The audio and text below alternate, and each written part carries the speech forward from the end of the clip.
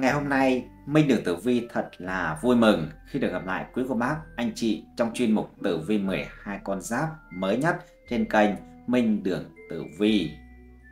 Lần đầu tiên, thay mặt cho 30 tập trình, những người làm chương trình xin được gửi lời chào, lời chúc tới quý cô bác, anh chị, sức khỏe, hạnh phúc, bình an, vạn sự an khang, tấn tài, tấn lộc, giàu sang phú quý, 10 phân vẹn 10.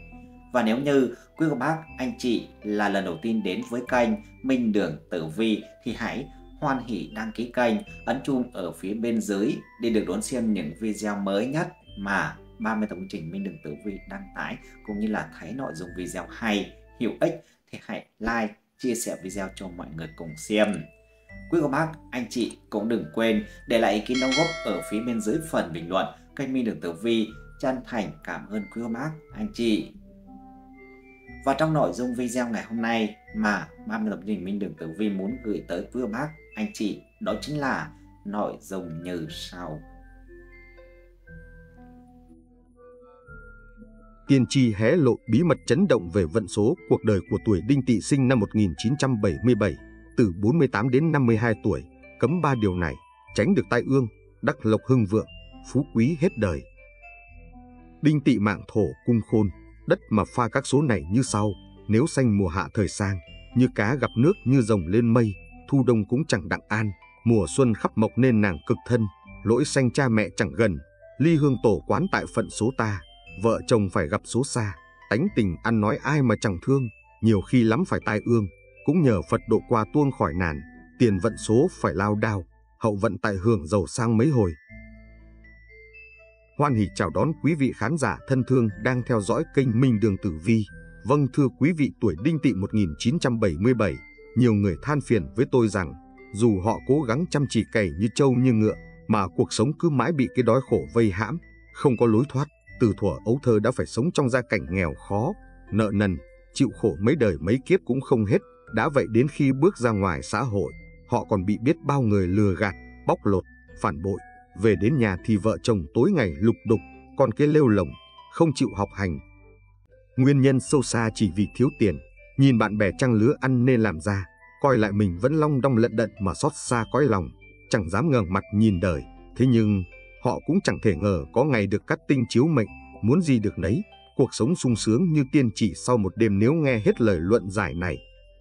Giới tiên tri tử vi còn hé lộ, tuổi đinh tỵ, từ 48 đến 52 tuổi, Tránh ba điều này sẽ lội ngược dòng, đắc thời phất lên, có tiền có quyền, nở mày nở mặt, trả ơn cho những người đã giúp đỡ mình, khiến những kẻ từng khinh miệt, chèn ép phải hối hận không kịp. Vậy ba điều cấm kỵ đó là gì? Liệu tương lai tuổi đinh tỵ thời điểm này sẽ biến động như thế nào? Tất cả sẽ được giải đáp chi tiết ngay sau đây. Thưa quý vị trong phần luận giải tử vi chi tiết ngày hôm nay, Minh Đường Tử Vi sẽ chia sẻ tới quý vị về vận trình, diễn biến cuộc đời của những người tuổi đinh tỵ sinh năm 1977, từ 48 đến 52 tuổi, những may mắn, vận hạn trên từng phương diện qua từng khoảng thời gian, cách xung cắt tị hung, đón lành tránh dữ, hóa giải vận đen, đón đầu may mắn dành riêng cho bản mệnh. Xin mời quý vị cùng chú ý lắng nghe. Lá số tử vi tuổi đinh tỵ sinh năm 1977, từ 48 đến 52 tuổi, được giới tử vi luận giải bao gồm hiểu về quá khứ cá tính để biết tương lai của đinh tỵ, tổng quan cuộc đời người tuổi đinh tỵ trên các phương diện sự nghiệp, tài lộc, sức khỏe và tình duyên, chi tiết vận trình của tuổi đinh tỵ theo luận giải ngày sinh, tháng lịch âm, lời khuyên cải biến mệnh cho tuổi đinh tỵ. Đinh thuộc hành hỏa và tỵ cũng vậy, do đó mà năng lượng hỏa kép càng làm tăng thêm sự hấp dẫn cho người tuổi tỵ. Đinh tỵ là những người năng động cả về thể chất và tâm trí, lúc nào con giáp này cũng tỏ ra hăng hái hơn người khác, rắn lửa rất khôn ngoan, thông minh và yêu thích sự sáng tạo, đôi lúc họ cũng thích khám phá, trải nghiệm những vùng đất mới, những thử thách mới. Những người sinh năm 1977 rất dễ giao tiếp, họ sôi nổi và có phần ồn ào. Họ cũng không ngại ngần khi phải thể hiện quan điểm của bản thân và có khả năng thuyết phục người khác làm theo ý muốn của mình. Kiên trì không khoan nhượng là những tính cách thường thấy của người tuổi này. Họ nhiệt tình, gợi cảm nhưng lại đa nghi và thường hay ghen tuông, Rắn lửa thường hay thể hiện tình yêu của mình một cách thái quá, áp đặt suy nghĩ của bản thân lên đối phương. Vì vậy, muốn trở thành người bạn đời của người đinh Tị, bạn phải là người thận trọng và giàu lòng vị tha. Nam mạng tuổi đinh Tị có cuộc đời trải qua nhiều sóng gió. Tuy nhiên, khi ở vào số tuổi trung bình, thì bạn hưởng được một cuộc sống khá đầy đủ. Số phận phải nhờ đến gia tộc và người thân mới có thể phát triển được sự nghiệp trong cuộc đời. Về phần danh phận, không lên cao mà vẫn nhẹ nhàng yên ổn, cuộc sống chỉ diễn tiến theo mức độ bình thường. Sự nghiệp của bạn được hoàn thành nhanh chóng, tuy không có được số giàu sang, phú quý, nhưng cuộc đời được hưởng nhiều sung sướng, vấn đề tiền bạc vẫn ở mức độ bình thường. Cuộc sống tuổi đinh tỵ cuộc đời cũng qua nhiều sóng gió, nhưng khi vừa ở vào số tuổi trung bình thì hưởng được một cuộc sống khá đầy đủ. Số phải nhờ đến gia tộc người thân mới có thể phát triển được sự nghiệp và cơ nghiệp trong cuộc đời. Về danh phận không lên cao mà vẫn âm thầm kín đáo, cuộc sống không có những sôi động, hấp dẫn và chỉ diễn tiến theo mức độ bình thường. Tóm lại, tuổi đinh tỵ tuy qua nhiều sóng gió từ lúc nhỏ, nhưng khi qua tuổi 30 thì tuổi đinh tỵ vững vàng việc làm ăn và mức sống ở trong mức độ bình thường.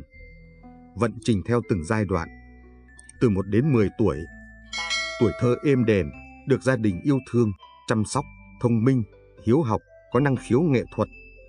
Từ 11 đến 20 tuổi, bắt đầu học tập và định hướng tương lai, có nhiều cơ hội phát triển tài năng, tuy nhiên cũng gặp một số khó khăn, thử thách.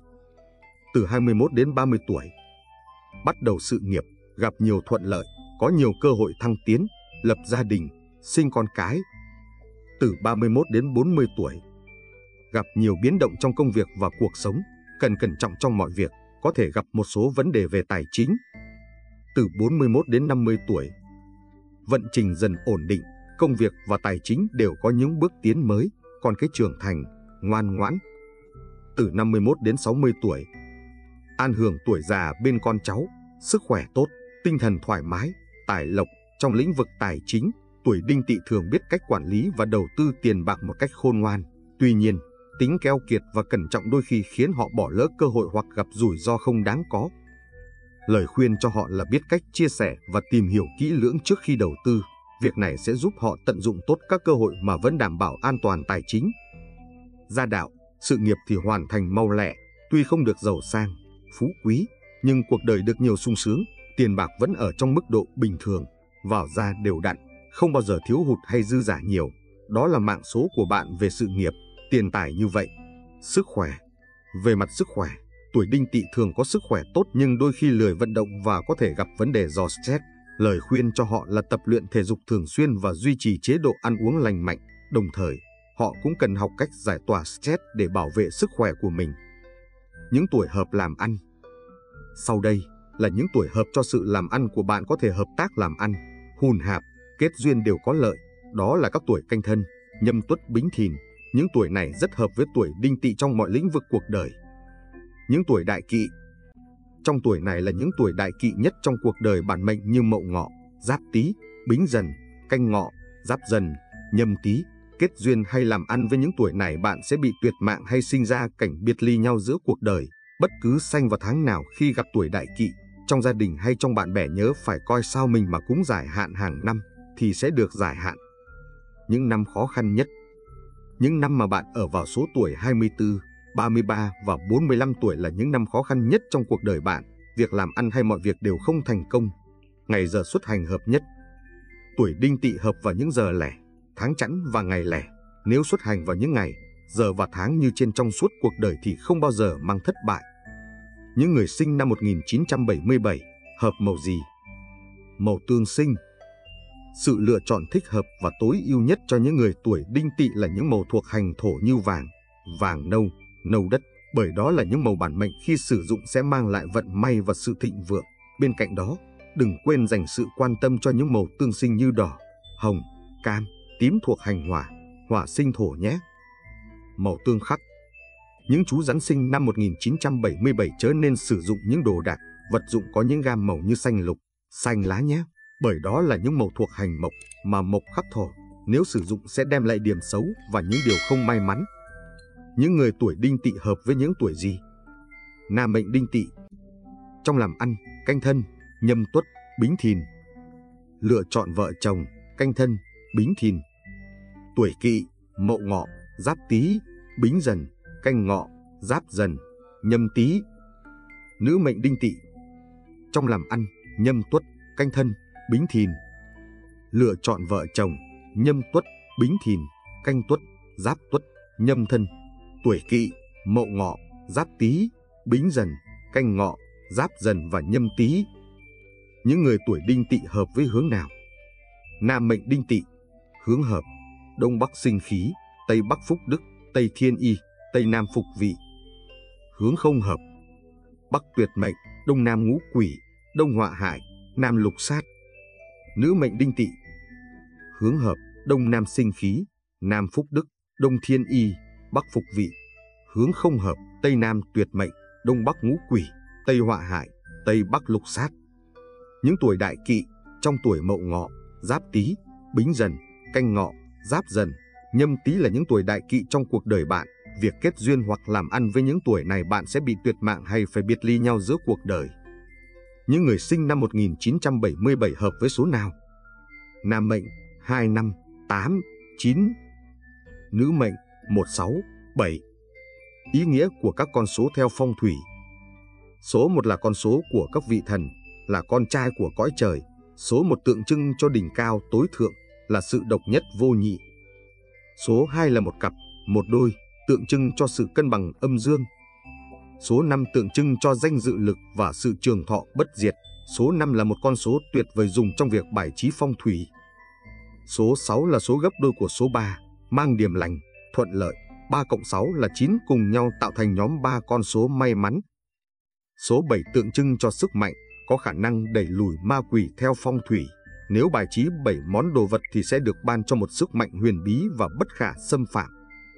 Số 8, 8 điều bất tử ở trong đạo lão và bát chánh trong Phật giáo có thể ngăn chặn được những ảnh hưởng xấu trước khi chúng xâm nhập vào nhà. Số 9 là con số hạnh phúc, an lành, thuận lợi. Theo tiếng Hán Việt, số 9 đồng âm với từ trường thọ và may mắn. Bạn có biết tháng sinh có thể quyết định vận mệnh của mình không? Cùng xem vận mệnh người tuổi đinh tỵ theo tháng sinh âm lịch ra sao nhé! Người tuổi đinh tỵ sinh tháng riêng Mùa xuân phơi phới sức sống, người tuổi tỵ sinh vào tháng này cũng mang trong mình khí chất hừng hực, đầy tham vọng và mơ ước cao xa. Họ không ngại thử thách, dốc hết sức mình để đạt được mục tiêu. Tuy cuộc sống không trải qua quá nhiều gian khổ, nhưng cũng không có nhiều may mắn mỉm cười. Bù lại, họ sở hữu tính cách vui vẻ, hoạt bát, dễ dàng thu hút thiện cảm từ mọi người. Tuy nhiên, dương khí vượng trong họ đôi khi khiến họ trở nên kiêu ngạo, tự tin thái quá, dẫn đến khó khăn trong việc nhận được sự giúp đỡ từ quý nhân. Mặc dù có tài năng và ý chí, nhưng thiếu đi cơ hội, họ gặp nhiều trắc trở trong việc phát triển bản thân. Để thay đổi vận mệnh, họ cần học cách kiên nhẫn, nhìn nhận thực tế và từng bước tiến lên, không nên đặt ra những mục tiêu quá xa vời. Người tuổi đinh tỵ sinh tháng 2 Vào tiết kinh chập, vạn vật bắt đầu bừng tỉnh sau giấc ngủ đông dài, nhưng vẫn còn mang chút mơ hồ, e rẻ.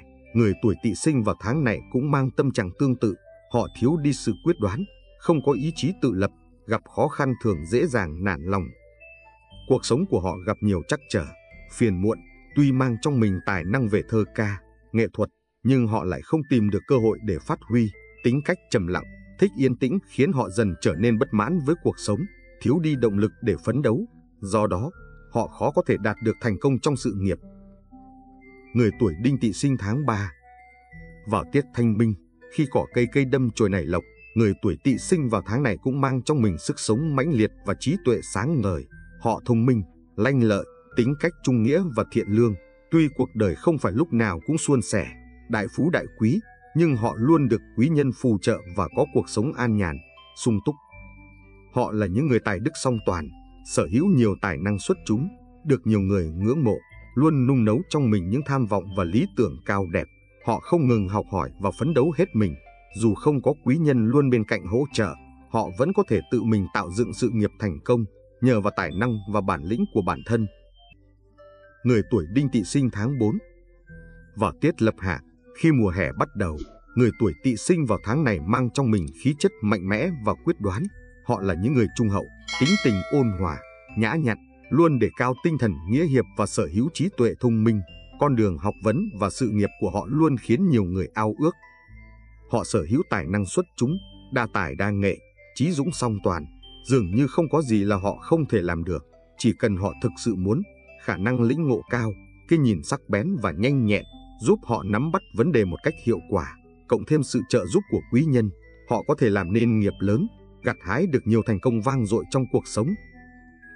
Người tuổi đinh tỵ sinh tháng 5 Vào tiết mang trùng, khi hạt giống được gieo xuống và nảy mầm, người tuổi tỵ sinh vào tháng này cũng mang trong mình sức sống mãnh liệt và ý chí kiên cường. Họ là những người có dũng khí, mưu lược và tài thao lược, nhờ đầu óc lanh lợi, thông minh và khả năng quan sát tinh tế. Họ có thể nắm bắt thời cơ, biến nguy thành cơ và đạt được thành công trong mọi việc. Với bản tính kiên định, không ngại khó khăn, người tuổi tỵ sinh tháng năm có thể vượt qua mọi gian nan, thử thách để đạt được mục tiêu của mình. Gia đạo họ thường hưng vượng, gặp nhiều may mắn, cuộc sống bình an và hưởng phúc lộc lâu dài. Họ cũng được quý nhân phù trợ, giúp đỡ trong nhiều khía cạnh của cuộc sống. Nhờ sự nhanh nhạy, tinh tế và khả năng tận dụng lợi thế của bản thân, họ gặt hái được nhiều thành công to lớn trong sự nghiệp, tài vận hành thông, rộng mở. Người tuổi đinh tỵ sinh tháng 6 Vào tiết tiểu thử, khi những mầm non bắt đầu lớn mạnh, người tuổi tỵ sinh vào tháng này mang trong mình sự trưởng thành và lòng tự tâm. Họ chân thành đối đãi với mọi người, được trời ban cho phúc lộc, vạn sự như ý và danh lợi song toàn.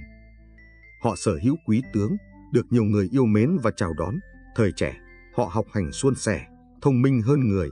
Cuộc sống hôn nhân của họ cũng rất tốt đẹp, vợ chồng ân ái, hạnh phúc bền lâu. Với ý chí kiên cường, dám nghĩ dám làm và tố chất lãnh đạo, người tuổi tỵ sinh tháng 6 có thể thành công trong cả con đường quan lộ và kinh doanh. Họ gặt hái được nhiều thành quả khiến nhiều người ngưỡng mộ, có tiền bạc dồi dào và địa vị xã hội cao. Người tuổi đinh tỵ sinh tháng 7 Vào tiết lập thu, khi mùa thu bắt đầu, người tuổi tỵ sinh vào tháng này mang trong mình khí chất thanh tao, ôn hòa và nhã nhặn. Họ nổi tiếng là những người sống thanh cao, trọng đạo đức, trí dũng hơn người.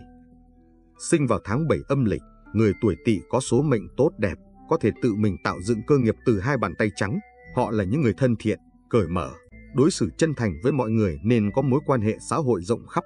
Nhờ tài năng xuất chúng và sự chăm chỉ, họ dễ dàng đạt được thành công trong mọi việc. Họ cũng có khả năng kinh doanh bẩm sinh. Nếu theo nghiệp buôn bán, họ sẽ gặt hái được nhiều thành công, tiền bạc dồi dào. Người tuổi đinh tỵ sinh tháng 8 Vào tiết bạch lộ, khi những hạt xương long lanh động trên lá, người tuổi tỵ sinh vào tháng này mang trong mình sự vui vẻ, nhiệt tình và tinh thần lạc quan. Họ thích giúp đỡ mọi người, trân trọng tình bạn và có mối quan hệ rộng khắp. Họ thông minh nhanh nhẹn, lương thiện, chân thành và có tài năng, nên con đường sự nghiệp của họ khá thuận lợi, được nhiều người giúp đỡ, cộng thêm khả năng của bản thân, họ có thể thăng tiến nhanh chóng. Nhờ tài năng, đức độ và tích đức hành thiện, người tuổi tỵ sinh tháng này không phải chịu nhiều vất vả trong đời, họ được hưởng cuộc sống an lạc, thành thơi, phú quý trường cửu, nhờ tính cách hòa đồng, Họ có nhiều bạn bè ở khắp nơi và được mọi người yêu mến. Người tuổi đinh tỵ sinh tháng 9 âm lịch Vào tiết hàn lộ, khi những giọt sương long lanh động trên lá, người tuổi tỵ sinh vào tháng này mang trong mình sự bình an và thanh thản. Họ là những người ôn hòa, luôn hướng đến sự dung hòa và không thích làm mọi chuyện trở nên phức tạp. Họ luôn tâm niệm một sự nhịn là chín sự lành và thường chọn cách giải quyết mâu thuẫn một cách nhẹ nhàng, khéo léo. Tuy là người học rộng biết nhiều và thông minh cơ trí, nhưng người tuổi tỵ sinh tháng này không dễ dàng có được thành công nhanh chóng. Họ cần phải nỗ lực và cố gắng hết mình để đạt được mục tiêu của bản thân. Đường đời không tránh khỏi những lúc gặp phải khó khăn, thử thách, nhưng với lòng kiên trì và bền trí, họ có thể vượt qua mọi chướng ngại vật và gặt hái thành công. Người tuổi đinh tỵ sinh tháng 10 Vào tiết lập đông, khi mùa đông bắt đầu, người tuổi tỵ sinh vào tháng này mang trong mình tâm hồn thanh cao và lòng nhân ái. Họ sống giản dị, không vướng bận bởi những toan tính, bon chen của cuộc sống. Với họ, giúp đỡ mọi người là một niềm vui và là lẽ sống. Họ có nhiều bạn bè ở khắp nơi, được mọi người yêu mến và quý trọng. Là người có ý chí, lý tưởng, tài năng và đức độ, nhưng con đường thành công của họ không hề dễ dàng. Họ sẵn sàng chịu khổ, chịu nhục để thực hiện lý tưởng của mình. Nếu có được cơ hội thuận lợi, họ có thể gặt hái được những thành tựu nhất định trong sự nghiệp. Tuy nhiên, để đạt được những thành công vang dội, họ cần phải nỗ lực nhiều hơn nữa. Người tuổi đinh tỵ sinh tháng 11 âm lịch Vào tiết đại tuyết, khi tuyết phủ trắng xóa mọi nơi, người tuổi tỵ sinh vào tháng này có thể gặp nhiều khó khăn trong cuộc sống. Họ thường gặp phải những tình huống tiến thoái lưỡng nan, mưu sự khó thành, thậm chí gặp khó khăn về tài chính. Cuộc sống của họ có thể thiếu thốn, không được đủ đầy như mong muốn. Sinh ra không gặp thời, tuổi trẻ của họ thường phải chịu nhiều khổ cực, vất vả, phải đến những năm tháng cuối đời, họ mới có thể gặp được nhiều may mắn hơn. Tuy là người có tài năng và tinh thần, trách nhiệm cao, họ ghét chuyện bất bình và có tính tình nóng này. Điều này khiến họ dễ đắc tội với người khác và làm mất lòng họ. Do đó, người tuổi tỵ sinh tháng 11 âm lịch nên cân nhắc đi xa lập nghiệp để có cơ hội thành công cao hơn. Người tuổi đinh tỵ sinh tháng 12 âm lịch Vào tiết tiểu hàn, khi trời giá bút và khắc nghiệt nhất, người tuổi tỵ sinh vào tháng này cũng có thể gặp nhiều trắc trở trong cuộc sống. Họ thường xuyên gặp phải những chuyện rắc rối, phiền muộn, khiến họ khổ tâm không dứt. Tuy có cát tinh cao chiếu mệnh, nhưng họ cũng khó lòng có được cuộc sống vạn sự như ý, nhờ tính cách khoan dung, độ lượng, phóng khoáng và biết nghĩ cho người khác. Họ có thể dần dần vượt qua những khó khăn trong cuộc sống, dù tiền vận vất vả và khó thành công trong sự nghiệp, nhưng từ trung vận trở đi họ sẽ gặp nhiều may mắn hơn, sự nghiệp của họ dần khởi sắc, có nhiều cơ hội phát triển và dễ dàng gặt hái thành công hơn. Lời khuyên cải biến mệnh cho tuổi đinh tỵ 1. Về tính cách Nên rèn luyện sự tự tin, bản lĩnh, tuổi đinh tỵ vốn thông minh, lanh lợi nhưng đôi khi lại thiếu tự tin hay lo lắng. Do đó, cần rèn luyện sự tự tin, bản lĩnh để có thể đưa ra quyết định sáng suốt và nắm bắt cơ hội trong cuộc sống. Hạn chế sự nhạy cảm, đa nghi, tuổi đinh tỵ có xu hướng nhạy cảm, dễ tổn thương và hay suy nghĩ, cần hạn chế những cảm xúc tiêu cực này để tránh ảnh hưởng đến cuộc sống và các mối quan hệ. Cân bằng cảm xúc, giữ tinh thần lạc quan, tuổi đinh tỵ thường hay lo âu, suy nghĩ nhiều, cần học cách cân bằng cảm xúc, giữ tinh thần lạc quan để có thể tận hưởng cuộc sống một cách trọn vẹn. 2. Về công việc Nắm bắt cơ hội, phát huy năng lực, tuổi đinh tỵ có khả năng làm việc độc lập, sáng tạo, nên chủ động nắm bắt cơ hội, phát huy năng lực để đạt được thành công trong công việc. Kiên trì, không nản lòng, trên con đường sự nghiệp tuổi đinh tỵ có thể gặp nhiều khó khăn, thử thách, cần kiên trì, không nản lòng để vượt qua những chướng ngại vật và đạt được mục tiêu đề ra. Học hỏi, trau dồi kiến thức, nên thường xuyên học hỏi, trau dồi kiến thức để nâng cao năng lực bản thân và thích nghi với môi trường làm việc ngày càng cạnh tranh. 3. Về tài chính, lập kế hoạch chi tiêu hợp lý tuổi đinh tỵ có xu hướng tiêu xài hoang phí, nên lập kế hoạch chi tiêu hợp lý để quản lý tài chính hiệu quả và tránh rơi vào tình trạng thiếu thốn. Tìm kiếm cơ hội đầu tư, có thể tìm kiếm cơ hội đầu tư để gia tăng tài sản, tuy nhiên cần cẩn thận, tìm hiểu kỹ trước khi đầu tư để tránh rủi ro. Tích lũy cho tương lai, nên dành một phần thu nhập để tiết kiệm, tích lũy cho tương lai. 4. Về tình duyên, chủ động trong việc tìm kiếm tình yêu, tuổi đinh tỵ thường e rẻ, ngại ngùng trong việc thể hiện tình cảm, cần chủ động hơn trong việc tìm kiếm tình yêu để có thể tìm được hạnh phúc cho mình.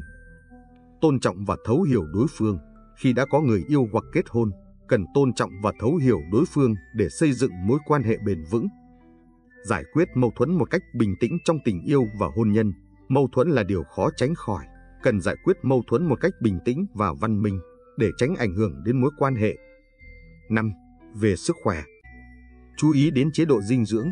Tuổi đinh tỵ nên chú ý đến chế độ dinh dưỡng Ăn uống đầy đủ dưỡng chất để đảm bảo sức khỏe. Tập thể dục thường xuyên. Nên dành thời gian tập thể dục thường xuyên để tăng cường sức khỏe và nâng cao sức đề kháng. Tránh thức khuya Sử dụng chất kích thích Nên tránh thức khuya Sử dụng chất kích thích để bảo vệ sức khỏe. Ngoài ra, tuổi đinh tỵ có thể thường xuyên đi lễ chùa, cầu bình an, may mắn, Việc đi lễ chùa sẽ giúp tuổi đinh tỵ có được sự thanh thản trong tâm hồn và cầu mong những điều tốt đẹp đến với bản thân và gia đình. Tuân theo phong thủy. Tuân theo phong thủy trong việc chọn nhà, chọn hướng, bài trí đồ đạc sẽ giúp tuổi đinh tỵ gặp nhiều may mắn trong cuộc sống.